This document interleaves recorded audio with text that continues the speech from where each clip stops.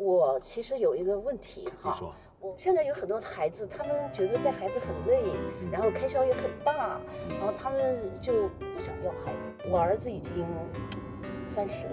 可是他们到现在也没有孩子。如果说真要不到，我觉得这个问题对于我来讲还是蛮苦恼的。不这样，我我要问个前提啊，不嗯，就一个是他们是俩人在这方面不主动，还是他们有想叫丁克吧这个词儿，对对对，是不是他们想丁克有有点这个意思？他不好意思说，我个人理解，我就尽最大能力去做工作，不要丁克。但当你真丁克的时候，我也那我也没，我已经面对现实了。嗯那按丁克的做法，其实啊，现在没有传宗接代概念。我以实事求是说，我们过去很自私的，对，不重要这个，只要他们快乐开心就行。要理解别人，就每个人生活状态，我认为现在都可以很个体的，你一定要调整个心态，而且没有人笑话谁。这个日子过给自己，不是给别人活的，是过给自己。他们俩那样快乐就快乐，